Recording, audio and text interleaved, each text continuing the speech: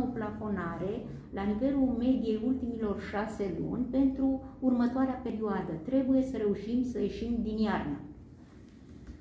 De asemenea, o altă măsură care este legată de aceeași problemă este compensarea facturilor, atât pentru populație cât și pentru IMM-uri, în sensul ca uh, facturile pentru uh, ultima perioadă, facturile plătite, să fie uh, la nivelul uh, lui decembrie 2020. Asta va fi o gură de oxigen pentru IMM-uri, având în vedere că totuși față de alte uh, state, noi în această perioadă nu am acordat ajutorul necesar pentru continuarea activității și ați văzut și dumneavoastră câte uh, societăți uh, mici nu au reușit să mai își continuă activitatea, ne gândim și la Horeca, ne gândim la foarte multe uh, domenii, la, la măsura 3 blocată și ce a însemnat mai departe. De asemenea, o problemă extraordinar de mare, iar asta este problema marilor orașe, este vorba de gigacalorie.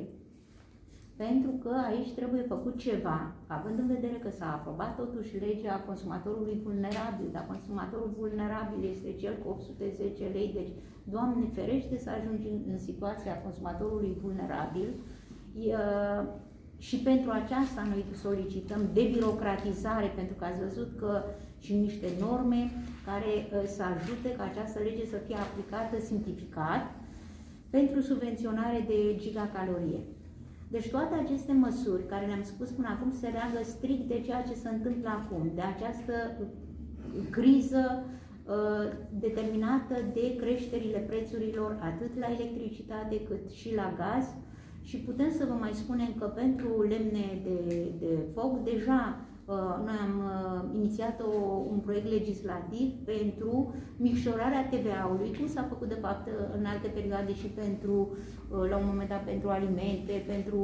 alte apă. produse, pentru apă, la 5%. O diferență între 5 și 19% va fi o sumă pe care probabil că ea se va resimți destul de bine, având în vedere creșterea extraordinar de mare